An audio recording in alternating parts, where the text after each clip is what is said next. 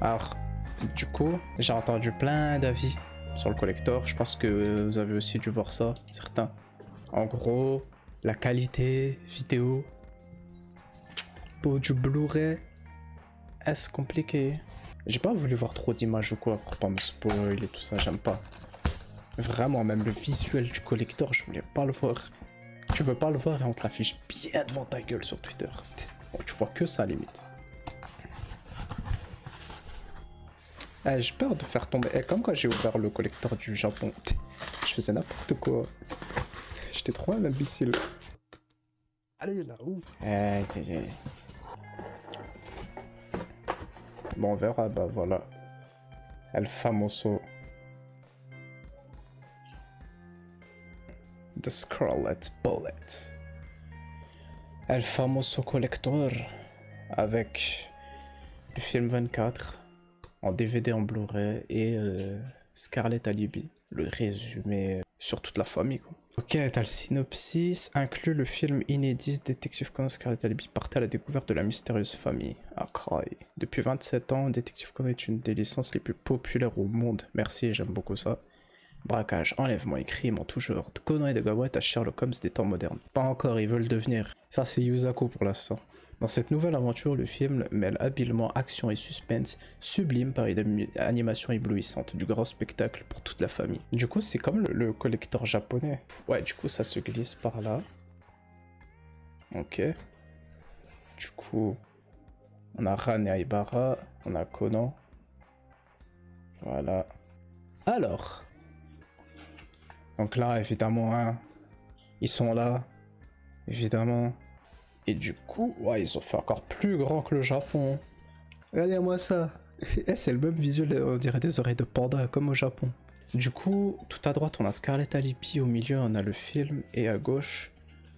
Attends, à droite, au milieu, il est en quoi? Il est en DVD, et à gauche, il est en Blu-ray. Ok, donc là, c'est le Blu-ray, là, c'est le DVD, et là, c'est Scarlet Alibi. Et voilà. Ok. Ok, ok, ok. Bah du coup, euh, voilà. On va, on va, je vais, je vais chercher le collecteur japonais. On va regarder un peu les deux, histoire de comparer. Voilà, après évidemment les japonais, plus de contenu. Donc déjà le visuel du, du truc là, hop.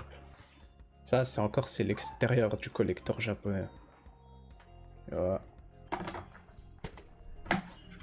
Hop. Et à l'intérieur... Oh punaise, ça c'est exactement l'erreur que j'avais fait la première fois. Ça fait bien pas ça. Mais en même temps, eux, ils ont, ils ont vraiment calé le truc qui se glisse par en bas, par là, genre. Mais tranquille. En gros, voilà, t'as ça, t'as le poster du, de l'auteur. En gros, ça s'ouvre un peu, ça s'ouvre comme l'autre. Comme celui euh, de français. Et voilà, t'as l'intérieur qui est comme ça. Voilà. De ce côté, t'as les... T'as la as les deux versions numériques. Celle-là, c'est la première, c'est la celle qui a été refaite après que le film était reporté. Celle du le truc du milieu, c'est le poster crayonné du, de l'auteur. Et dedans, t'as le film en Blu-ray et en dessous, c'est une espèce de... Il y a plein de vidéos comme ça, des espèces de sondages avec des extraits d'épisodes. Je comprends rien parce que c'est en japonais. Mais du coup, le plus, c'est ça. L'illustration book. Ce n'est pas qu'un livre d'illustration. C'est, comment dire, c'est tout le storyboard de, l'auteur. Son taf dessus, tout ce qu'il a fait, vous, avez déjà vu l'unboxing, mais voilà. Histoire de revenir dessus, les, les choses qu'il ajoute, qu'il enlève. parce qu'il a beaucoup d'influence sur les films, évidemment. Ah voilà, et t'as les Lounjo, c'est des espèces d'illustrations spéciales. C'est incroyable. Les covers que Gosho avait fait pour le Shonen Sunday. Par exemple celle-là. Qui est juste incroyable. Pour la confrontation incroyable du fameux Tom 100. Et t'as même euh, le petit crayonné pour le film 25. Voilà. Qui présentait les personnages et voilà. Regardez-moi ça aussi. Ah le bordel dans ce film. Aibara et Ran POV. C'était clairement ça. Et voilà, on a la version japonaise, française, du collector.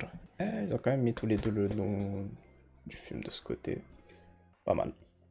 C'est dans l'autre sens. Ok, ok, ok. Ouais, enfin, c'est aussi devant et derrière. Mais ouais. Et voilà, c'est tout pour l'unboxing. Voilà. Merci beaucoup.